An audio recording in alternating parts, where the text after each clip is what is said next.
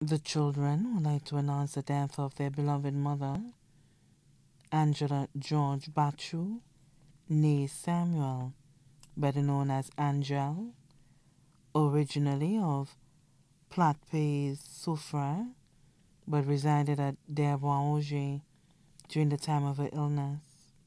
She passed away at the St. Jude Hospital on Tuesday, February 8, 2022 at 6:33 a.m.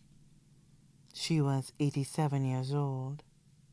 The funeral arrangements of our beloved Angela George Bachoo, née Samuel, better known as Angel, originally of Plat Pays Soufrière, but resided at Auger, will be announced in a subsequent broadcast.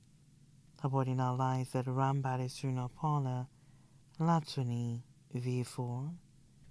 May she rest in peace.